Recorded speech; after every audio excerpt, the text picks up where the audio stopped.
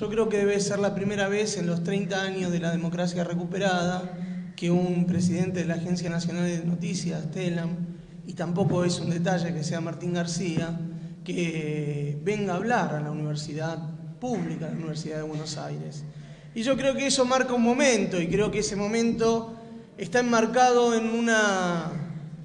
política que se viene llevando adelante en nuestro país a partir del año 2003 y que ha tenido momentos de inflexión centrales, importantísimos, y que por eso nos pueden encontrar hoy reunidos, nos pueden encontrar hoy compartiendo estos temas. Si algo tuvo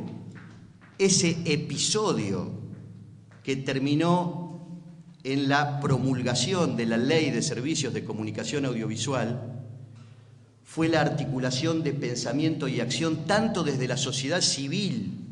que se organizó a través de lo que se denominó Coalición por una Radiodifusión Democrática, como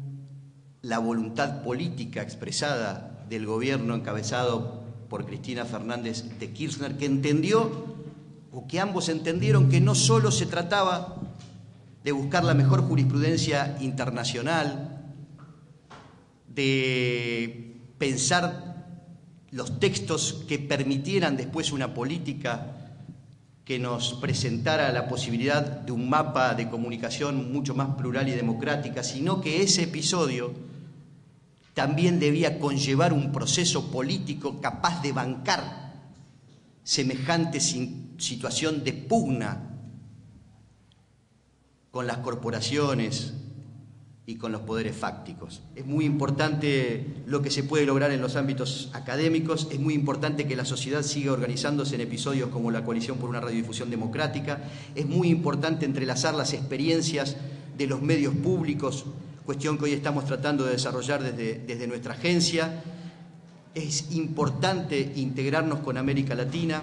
es importante darle a esta temática la significación que tiene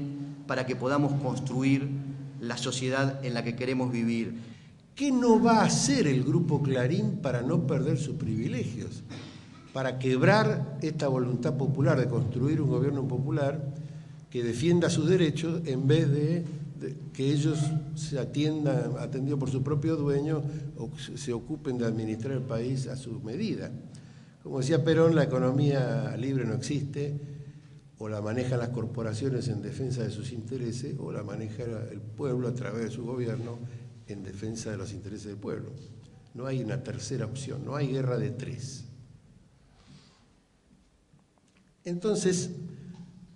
en esa pregunta lo que deberíamos plantearnos es qué cosas van a hacer para quebrar la voluntad popular de instalar a Cristina, no solo en el triunfo que esperamos para octubre, sino en lo que sigue después, que es la profundización del modelo social de la Argentina,